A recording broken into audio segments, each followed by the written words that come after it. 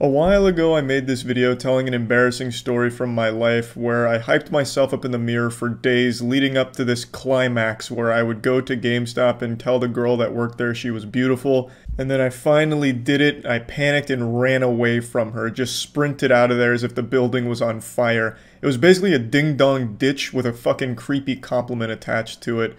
To this day, I'm still shocked she didn't report me to authorities, just call the police as I was running away. I wouldn't have been surprised to see a police sketch of my face posted on all the, the wanted posters or something looking for the creepy GameStop guy.